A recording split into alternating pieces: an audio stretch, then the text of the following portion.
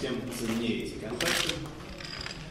У нас исторические, продвинутые связи. Надеюсь, что и в ходе Grazie signor Primo Ministro, grazie di cuore per la sua accoglienza, siamo molto felici di poter essere qua per affrontare tutti delle principali questioni di politica internazionale che sicuramente potremo affrontare in modo particolare con il Presidente